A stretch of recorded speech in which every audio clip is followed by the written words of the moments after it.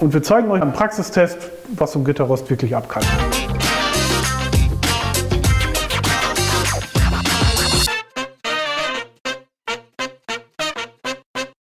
Wir haben jetzt hier eine Teststrecke aufgebaut für ein GFK Gitterrost. Das, was wir testen wollen, ist dieser Bereich hier. Erstmal testen wir das mit einem Abstand von 750 mm. Wie ihr sehen könnt hier, haben wir die auch ziemlich gut eingehalten, 75 cm. Wir gucken uns also die Durchbiegung an, wenn der Reifen hier drauf steht, also die vordere Achse. Aktuell haben wir eine Durchbiegung in der Mitte von 244 mm.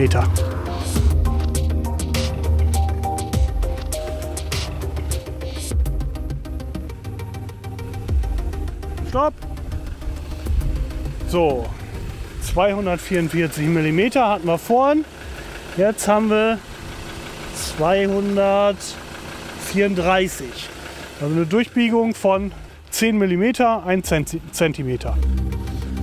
So, jetzt stellen wir den Auflagerabstand mal auf einen Meter ein. Jo. So, nach wie vor 245 mm an dieser Stelle und derselbe Test normal.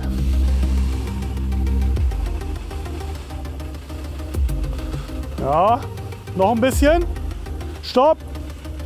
Passt. Jetzt sind wir hier bei 220 mm. Bin ich gleich mal gespannt.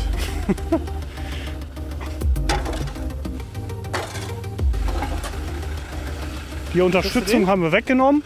Da haben wir also jetzt hier die vollen 1,50 Meter Auflageabstand und nach wie vor 246, 247 Millimeter.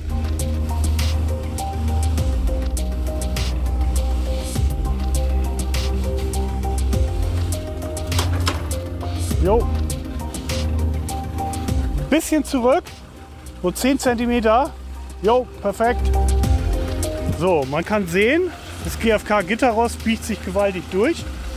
Ähm, hat jetzt hier an dieser Stelle noch 17 cm, äh, Quatsch, 17, ja doch 17 cm, 170 mm, biegt sich also schon mal gewaltig durch, hält aber.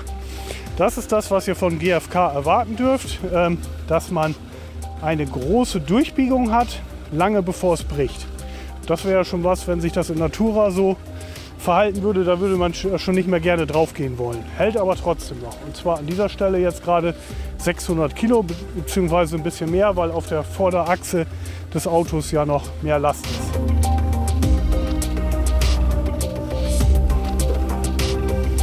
Mal gucken, ob er gleich aufliegt. Ja, noch ein bisschen. Stopp. Jetzt messen wir hier auch noch mal. Hinterachse hat also deutlich weniger an Gewicht. Da haben wir hier noch eine Durchbiegung von 183 mm. So, jetzt schauen wir uns mal an, wie das aussieht mit einem Radlader, der hier gerade zufällig in der Gegend ist. Ob wir die Gitterroste kaputt kriegen oder nicht. So, machen wir mal ein bisschen. Okay, stopp. So, jetzt haben wir hier eine Durchbiegung von 190 mm, die noch da sind.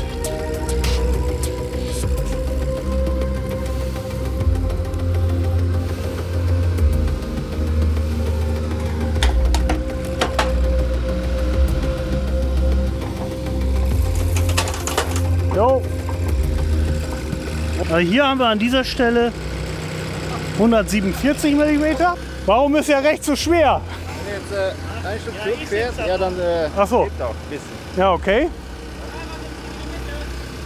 So, wie ihr seht, das ist unser Gitterrost. Ihr seht, das ist immer noch begehbar, obwohl man eigentlich sagen würde, nach den Belastungen, die das äh, erfahren hat, würde man es jetzt austauschen.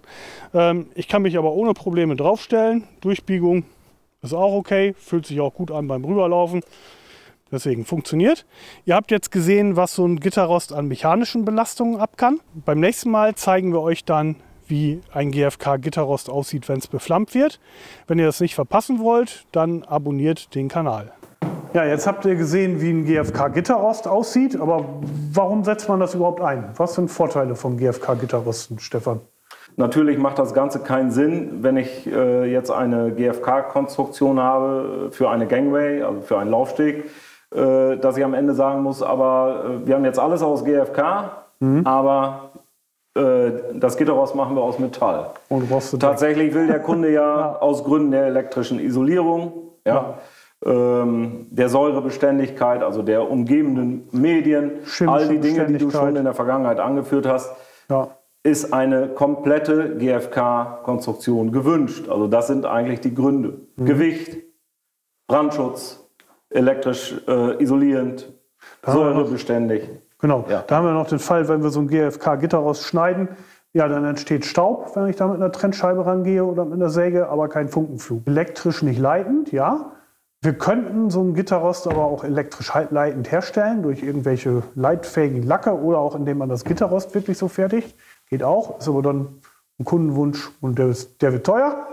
Das können ja, wir auch schon mal sagen. Die sind sehr teuer, also weil das wirklich ja. äh, spezielle Gitterroste sind.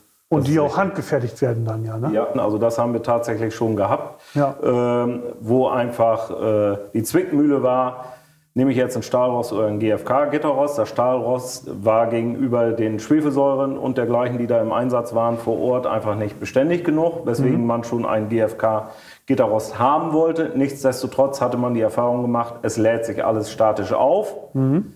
Und äh, es muss entsprechend geerdet werden. Ja, und durch die. Und an, an solchen Stellen kam dann schon mal so ein Gitterrost zum Einsatz. Ne? Ja, es ist leicht. Also, ihr habt vorhin gesehen, wir können es ohne Probleme locker tragen. Ist ein bisschen scharfkantig, da muss man aufpassen, dass man sich die äh, ja, Finger nicht äh, kaputt macht, wenn man äh, schweres Gitterrost trägt. Also so ein Gitterrost hier an der Stelle 19 Kilo den Quadratmeter. Hängt natürlich von der Dicke ab, aber 38er Gitterrost mit 38 x 38 Maschenteilung, 19 Kilo den Quadratmeter ungefähr. UV- und witterungsbeständig. Wir haben eine Rutschhemmung in der Oberfläche. Ähm, ja, das sind so die eigentlich die Hauptgründe, weswegen man GFK-Gitterroste einsetzt. Ne? Ja, Wartungsfreiheit. Genau, Wartungsfreiheit stimmt. Ja. Ähm, Ne? Ja, rostet nicht. In welchen Branchen setzt man das klassischerweise ein? Also hauptsächlich sind wir da diesbezüglich in der Chemieindustrie äh, unterwegs, mhm. im maritimen Bereich, also ja, auch mit, mit äh, Salzen. Genau, Salze. Ja. Äh, Kühlturm fällt mir noch ein, Klärwerke Richtig, an der Stelle, ja. wo ja auch aggressive Medien sind. Papierindustrie.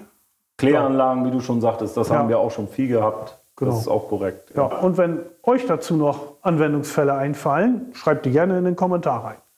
Hast du schon Bezug genommen auf die verschiedenen Hartsysteme? Haben wir noch nicht. Ähm, verschiedene Hartsysteme gibt es natürlich für GFK-Gitterroste. Also grundsätzlich kann ich so ein Gitterrost natürlich mit verschiedenen Glasfasern oder auch Carbonfasern aufbauen. Wird dann nur sehr teuer, aber tragfähig. Ähm, Harzsysteme ist das, was man eher variiert. Das sind wirklich äh, Orthoftal-Harze, sind eigentlich die günstigsten an der Stelle. Äh, Isoftalharze, das ist ein Standard, den man einsetzt mit einer guten chemischen Beständigkeit. Will ich eine höhere chemische Beständigkeit haben an der Stelle, bin ich bei einem Phenylesterharz. Brauche ich eine sehr hohe Brandbeständigkeit, ist man beim Phenolharz. Das ist mal so ganz grob, wenn ihr da Detailfragen habt, ja, dann äh, bitte uns ansprechen. Wir können da entsprechend beraten, in was für einem Bereich und welches Gitterrost einsetzt. Weil wir haben ja auch noch äh, die Chemikalienbeständigkeit wo es natürlich auch einen Unterschied macht. Habe ich das Gitterrost über einem Säurebecken, wo nur ein bisschen Dampf rankommt und die, der Säuregehalt gering ist, oder ist das eingetaucht 365 Tage im Jahr in irgendein Säurebad? Ne? Macht natürlich schon was aus. Weil ich dann auch schon das ein oder andere Kundengespräch hatte, wo man dann gesagt hat, äh, wie man kann das in Schwefelsäure einlegen. Äh, ich sage nein, Gott bewahre, also äh, dauerhaft in Schwefelsäure, das hält auch dieses Gitterrost ja. nicht aus. Also man kann alles in Schwefelsäure einlegen, ist nur die Frage, was davon überbleibt. Ja, also das ist eine Frage der Zeit, äh, der ja. Dauer, also wie lange man das davor hat. Also wir sagen eigentlich immer, im Havariefall äh, gehen wir davon aus, dass die äh, Konstruktionen gespült werden mit Wasser. Mhm. Und dann ist man immer auf der sicheren Seite. Also ja. Äh, Säure, das ist ja auch immer, wie viel Prozent und dergleichen. Und das kann man ja auch durchaus mit, mit Testzahlen belegen, wenn ein Kunde einen Sonderfall hat, den er so noch nicht hatte, den wir auch nicht kennen, wo wir keine wirkliche Antwort drauf geben können, bietet sich das immer an, dass wir Musterstücke zuschicken, man mal wirklich einen Test macht im eigenen chemischen Labor. Chemiewerke haben sowas klassischerweise. Ähm, und dann kriegt man schon, kommt man zum Ergebnis. Geht jetzt um die äh, Begehbarkeit von GFK-Gitterrosten.